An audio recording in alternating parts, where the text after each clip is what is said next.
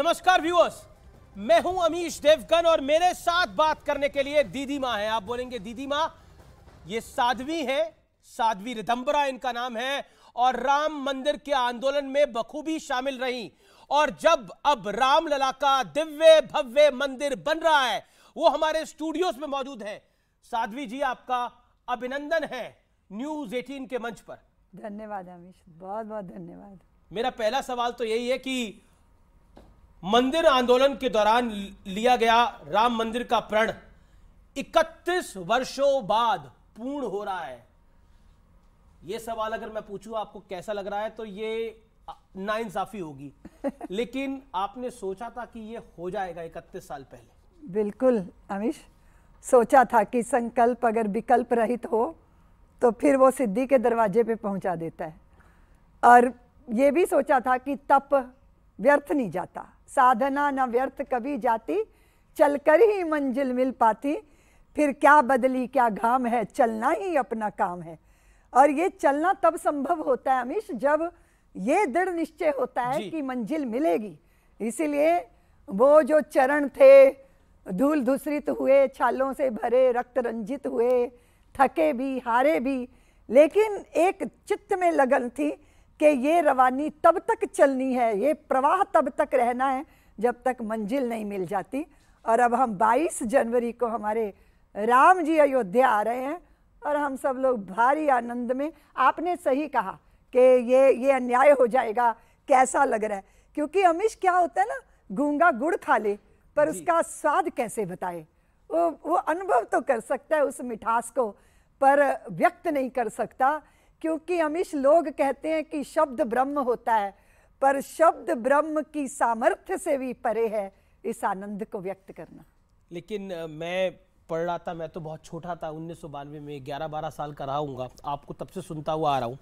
और आज भी जब मैं पढ़ाई उस, उसको पढ़ता हूँ तो कई बार लोग जंगलों गुफाओं और भिखारियों के बीच में रहना पड़ा तब लोग मंदिर आंदोलन के साथ जुड़े। ऐसा नहीं था कि वो आंदोलन, कोई जिसे कहते हैं पॉलिटिकल आंदोलन था, वो एक जनमानस का आंदोलन था जो देख के पता लगता है। नहीं तो वो साधु जो गंगा के तट पे रहते थे, ना जिनको धन से मतलब ना जिनको राजनीति से मतलब ना किसी और विचार से मतलब वो सिर्फ़ राम के अपने मंदिर बनाने के लिए निकल पड़े थे। निश्चित रूप से अमिश आपने सही कहा कि संतों का धन राम जी ही है है ना? धनियों के तो धन है लाखों। मुझ निर्धन के धन वस तुम हो कोई पहने मानिक माल, कोई लाल जड़ावे। कोई रचे महावर मेहंदी, मोतियन मांग भरावे। सोने वाले, चांदी वाले, पानी वाले, पीतल वाले। तन के तो सौ सौ श्रृंगार हैं। मन के आभूषण बस तुम हो तो संतों का धन तो राम जी ही है, राम जी का नाम है। और ऐसे विरक्त संत अमिश जब मनसा वाचा कर्मना इस कार्य के साथ लग गए। अपनी व्यक्तिगत देखो अमिश साधुओं का जो विलास होता है ना वो आत्म विलास होता है। जी। अपने उस आनंद में से निकल कर संघर्ष करना ये ये वो सत संकल्प था जिसने हम सबको सिद्धि के द्वार पर पहुँचा दिया। साध्वी जी राम मंदिर आंदोलन से आपका जुड़ाव कैसे हुआ? ये इस समय आज की पीढ़ी आपसे ज़रूर जानना चाहेगी, क्योंकि शायद आज जो लोग 20 साल के हैं 22 साल के हैं 25 साल के हैं, उनका तो जन्म भी नहीं हुआ था, वो ज़रूर जानना चाहेंगे। और मैं चाहता हूँ व्यूअर इसको रिकॉर्ड करें, आपका जुड़ाव कैसे हुआ, कैसे आप इतनी युवा अवस्था में आप राम मंदिर के आंदोलन के साथ जुड़ गई, क्या था वो अनुभव कैसे हुआ सब कुछ? अमिश जब ना आपके मार्गदर्शक स्पष्ट होते हैं क्योंकि मैं तो बहुत छोटी उम्र में सन्यासी हो गई। जी। और मेरे गुरुदेव युग पुरुष स्वामी परमानंद जी महाराज वो एक बहुत ब्रह्म ज्ञानी संत हैं। जी। और वो संत भी हैं और सिपाही भी हैं। और उन्होंने बताया कि जब व्यक्ति का अपनी सुलझाव हो जाता है उसकी अपनी आंतरिक ग्रंथियाँ टूट जाती हैं मुक्त हो जाता है वो तब फिर उसका धर्म बनता है कि वो अपने राष्ट्र धर्म के लिए काम करे। अब राष्ट्र धर्म क्या है? अगर हमारे भगवान आराध्यों के जन्मभूमियों पे, पराभवी युग के प्रतीक खड़े हों, है ना? तो लज्जित हो और पीढ़ी पीढ़ी दर पीढ़ी लज्जित हुई, अपमानित हुई, प्रताड़ित हुई, व्याकुल हुई, आहत हुई। अब इतना बड़ा दर्द है हिमालय, जितना बड़ा। इस दर्द के हिमालय में से कोई समाधान की गंगा भी तो निकलेगी। तो फिर उनकी प्रेरणा से राम जन्मभूमि का जब आंदोलन प्रारंभ हुआ जी। मैंने सरयू का जल हाथ में लेके शपथ ली कि हे सरयू मैया मेरा तन मन धन मेरा सर्वस्व राम जन्मभूमि के लिए राम जन्मभूमि मुक्ति आंदोलन के लिए समर्पित है और बस वो संकल्प और उस संकल्प ने फिर संघर्ष की सामर्थ्य दे दी और आपको मालूम है वो समय तो ऐसा था कि अपने को हिंदू कहना सांप्रदायिक जो है वो टीका लगा दिया जाता था उस पर टिप्पणियाँ होती थी। वातावरण बहुत प्रतिकूल था। लेकिन अमीश एक बात दिल को लगती थी कि जब लक्ष्मण ने कहा राम जी से कि राम भैया देखो सोने की लंका कितनी सुंदर है। तब राम जी ने कहा लखन भैया लंका सुंदर होगी पर मेरी दृष्टि में जननी और जन्मभूमि से सुंदर कुछ नहीं हो सकता। और वो रामलला की जन्मभूमि इस तरह की दशा में है ये देख के मन में प्रेरणा नहीं अमीश, वेदना पैदा हुई। और आप जानते हो कि जब वेदना होती है तो हो गई है पीर, पर्वत सी पिघलनी चाहिए, इस हिमालय से कोई गंगा निकलनी चाहिए। लेकिन इतनी लंबी लड़ाई लड़ी लड़ाई लड़ी गई, साढ़े पाँच सौ वर्षों की ये लड़ाई थी, पचास वर्षों की कोर्ट की लड़ाई थी, कभी मन में आया कि रामलला को खुद खड़े होकर कोर्ट में कहना पड़ रहा है कि मैं वहाँ, मेरा जन्म वहाँ हुआ, क्योंकि खुद रामलला जो थे वो कोर्ट में पक्षधर थे अपने। क्या आपको लगता है कभी मन में आया कि ये हिंदुस्तान में ही हम रह रहे हैं या कोई और मुल्क है? अमिश ये तो सवाल हमेशा यक्ष प्रश्न आज भी खड़ा है सबके सामने। जब इस तरह के विरोधी स्वर बुलंद होते हैं तो लगता है कि भारत की जड़ों से भारत की धरती से भारत की परंपरा से ही जुड़ के अपने सौभाग्य को अनुभव क्यों नहीं किया जा रहा? क्यों परकियों की को सिर पे चढ़ाया जा रहा है? क्यों अपनी अपने आप को नहीं पहचाना जा रहा? और क्यों राजनीति इतनी हावी हो जाएगी? तुष्टीकरण की राजनीति हो वोट की राजनीति हो ये सारी पीड़ाएँ ये सारी वेदना तो रही कि भाई देखो अपने ही देश में राम जन्मभूमि के लिए 500 साल लड़ना पड़े। जी, जी। इससे समझ में आता है कि अपने ही घर में शरणार्थी होकर जीने का या फिर उपेक्षित होकर जीने का दर्द क्या होता है? क्वेश्चन मेरा है आपसे साध्वी जी कि बीजेपी पे आरोप लग रहा है कि ये श्रेय लेना चाह रहे हैं। नरेंद्र मोदी पर अमित शाह पर इन सब पे आरोप लग रहा है जेपी नड्डा पर कि ये लोग क्रेडिट लेना चाह रहे हैं। ये क्रेडिट की भूखी है बीजेपी। असल में क्योंकि आपसे बेहतर इसका जवाब कोई नहीं देगा श्रेय किसको मिलना चाहिए इसका? अमित श्रेय तो सबको है उनको भी है जो कार सेवकों ने बलिदान दिया। सबसे पहला श्रेय तो उनको है ना? जो माताओं ने अपने अंगूठे के रक्त से अपनी संतानों के माथे पे तिलक किया अमिश कि जा पुत्र तू अगर राम के काम आ जाएगा तो मैं धन्य हो जाऊँगी। श्रेय तो उनको जाना चाहिए ना जिन्होंने मांग के सिंदूर न्यौछावर किए हैं।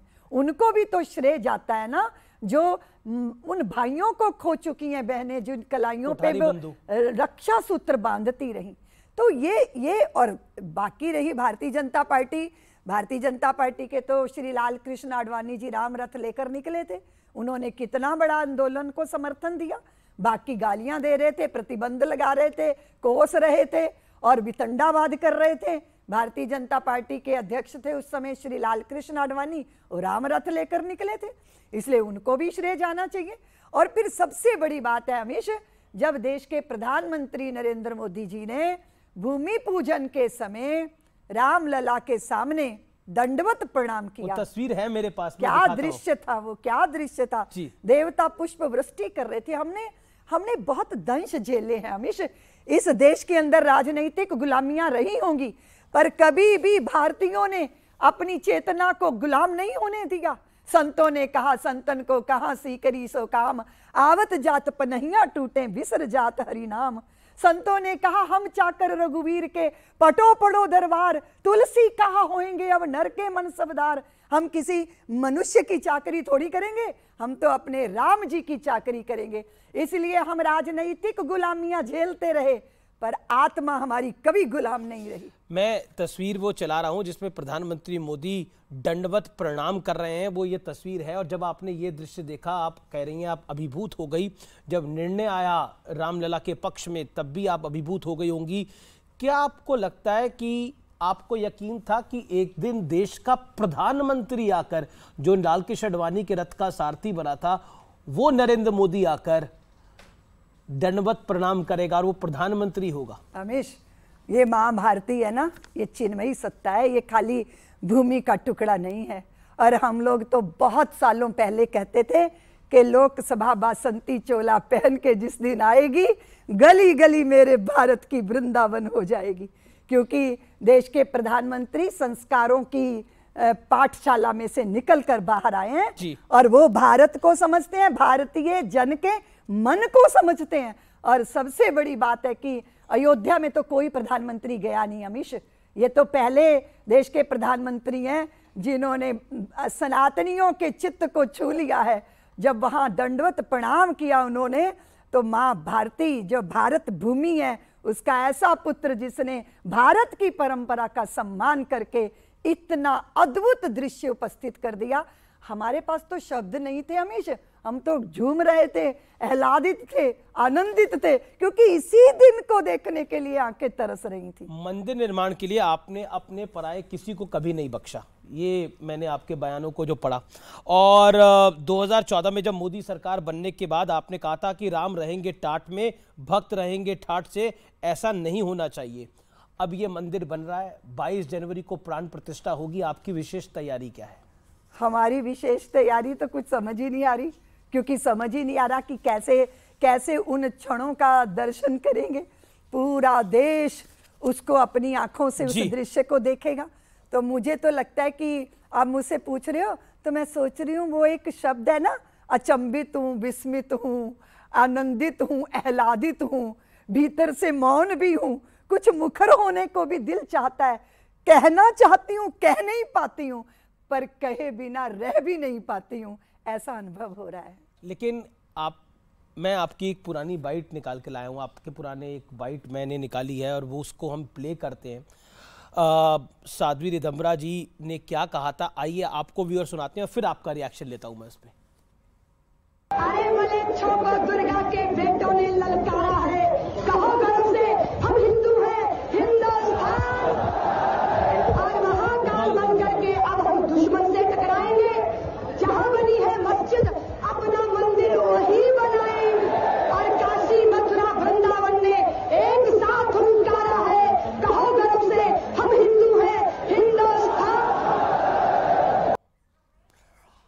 आपने कहा, गर्व से कहो, हिंदू हिंदुस्तान हमारा है और साथ ही साथ जहाँ मस्जिद है, वहीं मंदिर बनेगा, ये बात भी कही। अब ये मंदिर संपूर्ण हो गया है, बन गया है।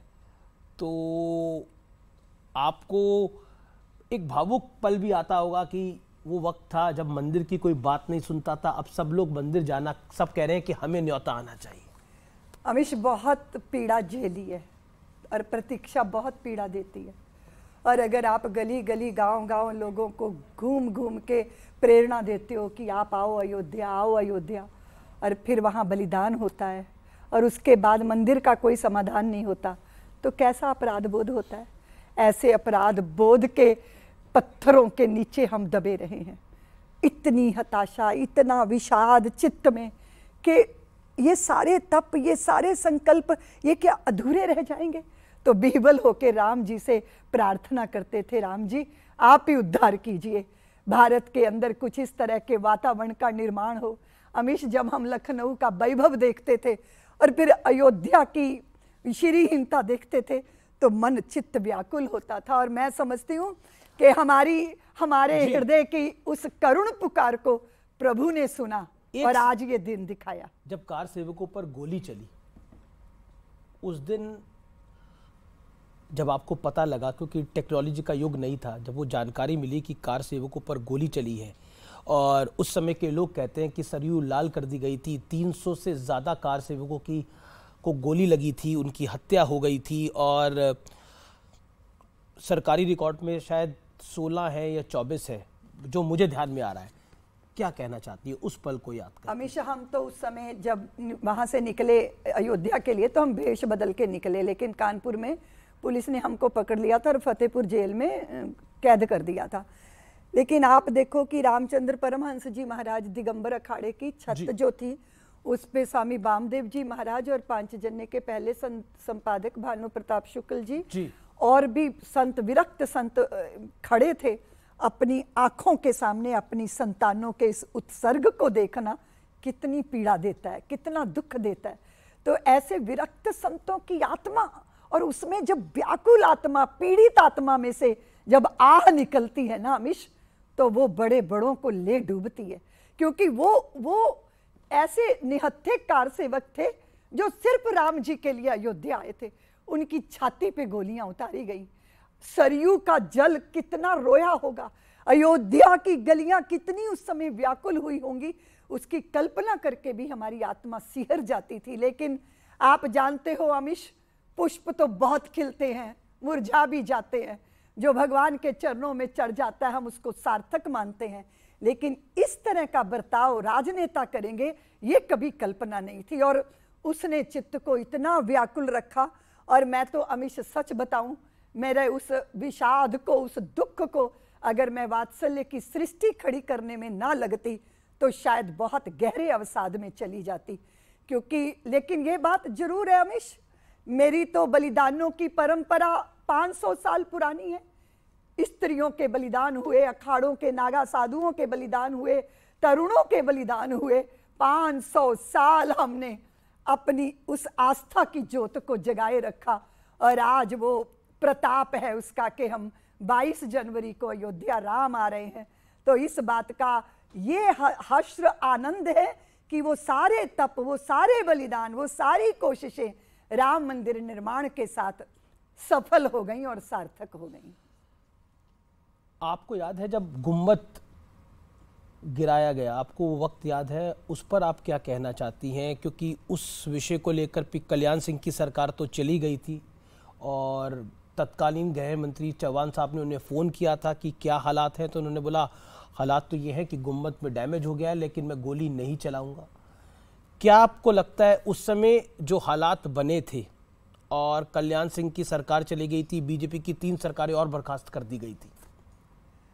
अमिश उन्होंने बहुत सुंदर बात कही थी कि मैं श्री राम जी के लिए हज़ारों सत्ताएँ न्यौछावर कर सकता हूँ। कुछ लोग ऐसे होते हैं अमिश जी, जिनके लिए सत्ता साधन होती है, साध्य नहीं होती।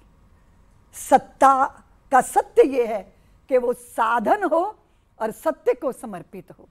दूसरी बात यह है कि इतने बड़े बलिदान, इतने बड़े उत्सर्ग, इतना बड़ा साहस, इतनी बड़ा त्याग और प्रतीक्षा, उसका उसका ये प्रतिफल था। और मैं समझती हूँ कि कोई संगठन, कोई संस्था की योजना नहीं थी, अमिश जी। ये तो नियति और नियंता के द्वारा निश्चित की गई योजना थी। एक एक कार सेवकों के भीतर जैसे पवन पुत्र हनुमान प्रवेश कर गए हों वो कोई योजना के अंतर्गत नहीं हुआ। वो नियति के द्वारा निश्चित था। कैसे कार सेवक राघव के रणंजे बन गए और माधव के धनंजय बन गए, जो कील अवध के सीने में सदियों से पड़ी कसकती थी और लज्जित थी पीढ़ी दर पीढ़ी, जीवन को शाप समझती थी। ऐसी तो दशा थी, लेकिन वो घटना घटी और उसके बाद उसके, उसकी भूमि के अंदर मंदिर के साक्ष्य प्रकट हो गए। राम जी की लीला थी। और मैं तो अमिश जी सदैव एक ही बात कहती हूँ कि राम जी करा रहे हैं, राम जी का काम है। राम जी के काम में काहे का विराम है? ज़िंदा रहे तो जग जीवन ललाम है। मर भी गए तो रहने को स्वर्ग धाम है। हमको तो काम बस राम जी के काम से राम जी का मंदिर बनेगा धूमधाम से। ये वो संकल्प विकल्प रहित संकल्प। और आज हम हैं सिद्धि के द्वार पर। जी लेकिन एक दौर था आप पे भी बड़े सारे केस थे। आपको भी पुलिस लेने पहुँच गई थी और आपने छत से छलांग मारी थी। ये कहानी भी पढ़ी है हमने। हाँ जी हमेश ये ऐसी कहानियाँ तो इतनी ज़्यादा है। ललितपुर के अंदर मुझे जो है पुलिस पकड़ने आ गई और संगठन की ये निर्णय था कि पुलिस ना पकड़ पाए और जागरण करना है। तो कैसे कितना बचना पड़ता था? मैंने उस घर के अंदर साड़ी पहनी और घूंघट निकाला एक साल का बच्चा गोदी में उठाया। जी। एक किलोमीटर पैदल पुलिस के बीच में से निकल गई और बाद में कार्यकर्ताओं के द्वारा वो बच्चे को उसके घर पहुँचाया और मैं अगली सभा में पहुँच गई। एक तो उस बच्चे से कभी मुलाकात हुई? बोला तुम्हारा भी योगदान है हाँ, उस बच्चे से मुलाकात हुई। उसकी माँ ने बताया कि तू साध्वी की गोद में चढ़ के उनका रक्षा कवच बन गया था। और फिर आप देखो अमिश रक्षा कवच कोई कैसे बनता है? वो चाहे भेष धारण करो चाहे अभी पुखराया में सभा करते करते मैं पहुँची उत्तर प्रदेश में मेरे पे प्रतिबंध था। तो पुलिस से बचने के लिए मैं अपनी कौन से साल की बात है? ये सन और वो मुझे याद नहीं जी, जी, जी। तो उसमें क्या हुआ कि मैं अपने थैले में बहुत तरह के कपड़े रखती थी। इसमें सूट भी होता था साड़ी भी होता था एक काले रंग का चोला कभी कभी तांत्रिक बनकर मैं उसमें से निकलती थी। तो क्या हुआ कि मुझे पता चला कि इतनी जनता मेरी प्रतीक्षा कर रही है यूपी में मेरे पे प्रतिबंध था। तो मैंने कपड़े दूसरे पहने हुए थे। कार्यकर्ता दौड़ के अमित सात आठ राम नामी चादरें ले आए। वो राम नामी चादर मैंने सिर पे बांधी शरीर पे बांधी। राम नामी चादरों में लिपट के मैं जनता के बीच में। दूसरी बात जनता को प्रतीक्षा होती थी हमेश। मेरी तंबरा ज़रूर आएगी। और मेरे अंदर ये संकल्प होता था कि मुझे किसी कीमत पे अपनी एक भी सभा नहीं छोड़नी। तो ये बहुत दृढ़ता थी और मेरे मंडल का, मेरे गुरुदेव का और सबका बहुत बड़ा सहयोग था, जिसके कारण ये जागरण संभव हुआ। एक मूर्ति को लेकर विवाद खड़ा हो गया है। कांग्रेस के बड़े नेता हैं, फॉर्मर मध्य प्रदेश के सीएम है दिग्विजय सिंह। वो कहते हैं, वो वाली मूर्ति कहाँ गई जो प्रकट हो गई थी? उस मूर्ति को क्यों नहीं लगाया जा रहा? अब नई मूर्ति क्यों बनवाई जा रही है? अब मुझे उनके इसके वक्तव्य के कोई उत्तर नहीं देना है क्योंकि ये बहुत सारे वितंडावाद हैं बहुत सारी बातें हैं। राम लला जी, राम लला जो है वो अपने स्वरूप में विराजेंगे और राम जी की इच्छा से विराजेंगे। वो किस रूप में विराजना चाहते हैं उस रूप में एक और विकंडावाद है वो ये है कि शफीक रहमान बर्क जो कि समाजवादी पार्टी के बहुत सीनियर मेंबर ऑफ़ पार्लियामेंट है सबसे सीनियर मेंबर ऑफ़ पार्लियामेंट है उनके बड़े नेता है वो कह रहे हैं कि गम का दिन बनाएगा मुसलमान जिस दिन राम मंदिर की प्राण प्रतिष्ठा होगी। मुझे लगता है नेताओं को गम होगा लेकिन आम जनता सब जानती है कि जन्मभूमि राम जी की है और उनको उनका अधिकार मिल रहा है। और राम लला ने अपने अधिकार को कोर्ट की लड़ाई लड़के प्राप्त किया है। ये भी तो आप देखो कितनी विचित्र बात है इस देश के अंदर। ये लेकिन- भी तो देखो आप। लेकिन लेकिन मैं ये सवाल इसलिए पूछ रहा हूँ क्योंकि सैम पित्रोदा हैं गांधी परिवार के बेहद करीबी उन्होंने बोला कि मुझे बहुत देख के पीड़ा हो रही है कि भारत का प्रधानमंत्री मंदिरों में जा रहा है और पूरा देश जो है वो सिर्फ़ राम मंदिर के नाम पर अटक गया है। नहीं राम मंदिर हमारी ये ऊर्जा है हमारी प्रेरणा है। राम हमारी सक्रियता है अमिश जी। राम हमारे सर्वे भवंतु सुखिना की भावना है। राम परिस्थिति चुनौती को स्वीकार करके अपराजित पौरुष का प्रतीक है। राम जन जन के मन में उतरने वाली औषधि है अमिश। तो वो ताकत है हमारी जिससे हम भारत को भव्य भी बनाते हैं और भारत को दिव्य भी बनाते हैं।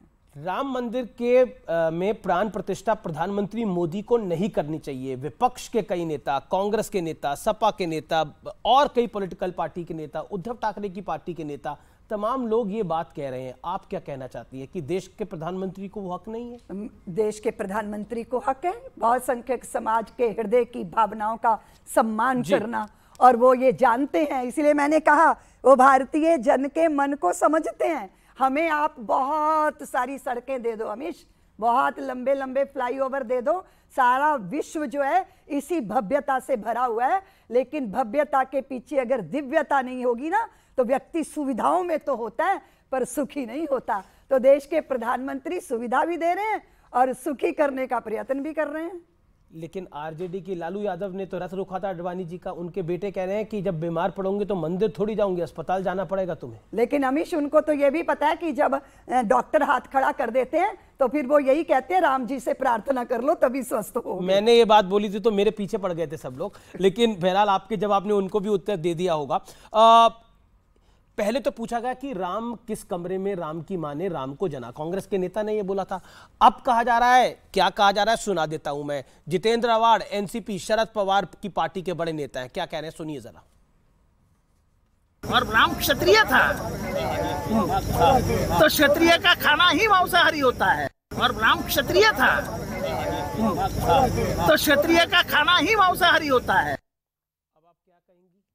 और राम क्षत्रिय था।